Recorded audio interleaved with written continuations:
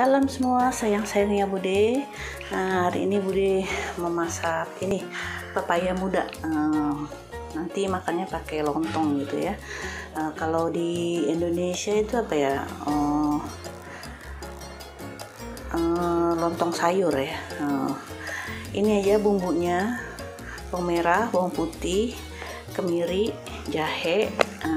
Ini pakai serai terus daun daun salam. Eh, terus nanti bude kasih kunyit kunyit bubuk terus eh, merica sama biasa sama santan. Eh, ini kelapa mudanya udah bude parut parut tipis gini ya atau dicacah. Kalau di Jakarta itu dicacah gitu itu terserah kalian ya Hmm, potongannya gimana. Pokoknya kecil-kecil lah. Atau eh, dicacah itu gampang ya dicacah. Udah tuh dicacah-cacah nah, nanti jadilah kayak gini. Oke nih eh, bahan yang ini. Ini ada terasi juga ya tadi lupa yang nyebutin ya. Ini nanti bude bude eh, blender. Eh, terus ditumis sedikit oke. Ini kasih minyak sedikit hmm. Bude mau numis ini ya mau numis bumbu yang tadi Bude udah haluskan Hmm. ini tumis aja agak-agak wangi aja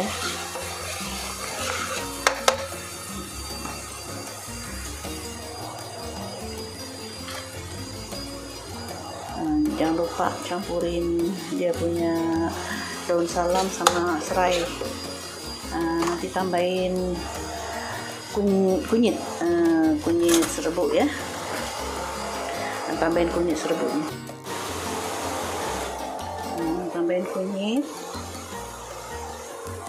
Tambahin merica yang bubuk ya. Kalau ada yang eh, biji boleh tambahin gegar Nah.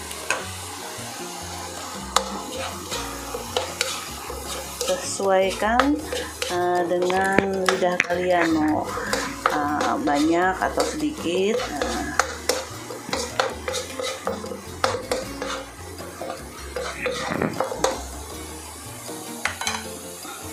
tunggu sampai ini ya. Hmm, sampai kering sedikit udah cantik warnanya kasih air. Hmm. kasih air ikut selera kalian oke. Nah, ini udah mendidih. Nah, kalian bisa masukin ke pepaya mudanya tadi ya. Nah, masukin aja semua ini bude mau masukin semuanya.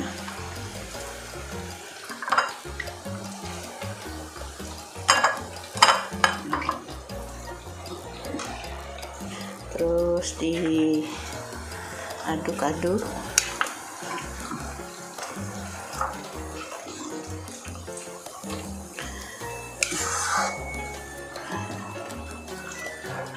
Terus jangan lupa kasih bumbunya penyedap. Eh, ini dia kasih pareko terus garam sedikit. Sama gula ya gulanya sedikit ya. Nah nanti kalau udah mendidih baru deh dimasukin eh, itunya apa santannya kita aduk-aduk Nah, kalau udah mendidih sekali terus masukin santan dah siap. Hmm, gampang banget. Nanti makannya pakai lontong. Wuh, nikmat deh. Oke kita tunggu ya. Tunggu sampai mendidih. Mau ini bude goreng ayam. Hmm. nanti bude goreng perkedel. Baru deh kita santap. Makan siang.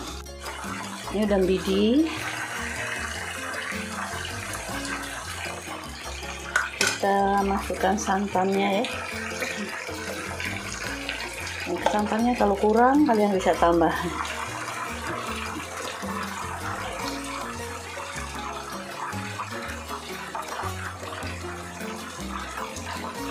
Oke diaduk-aduk jangan sampai pecah minyak. Dan jangan lupa koreksi rasa. Itu aja bahannya. Kalau kalian mau tambahin cantiknya kalian irisin cabai ya cabai merah gitu ya biar cantik. Terus dengan bawang pre. Nah, udah siap.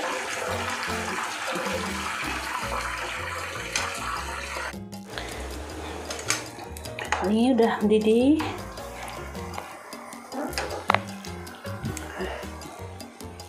Ini kita lihat sudah mendidih. Kita aduk-aduk sekejap ini ini udah budi rasa uh, rasanya udah oke okay. udah udah mantep. Uh, nah, terus budi masukin um, daun pre sama irisan cabai ya cabai merahnya. Jadi cantik kan warnanya. Kan uh, oke. Okay sayurnya udah selesai. Selamat mencoba ini ayam goreng sama begedel. Oke ini cara penyajiannya dari Bude nah, lontong. Kalian letaklah berapa kalian mau. Nah, ini empat ya. Nah, empat keping. Terus kalian siram uh, ke lontongnya nih. Uh, seberapa banyak kalian? Ya udah. Terus kasih ayam di atasnya. Begedil bawang goreng. Oke. Okay. wah bawang gorengnya banyak kan nih tapi nggak apa-apa. Uh, lebih enak.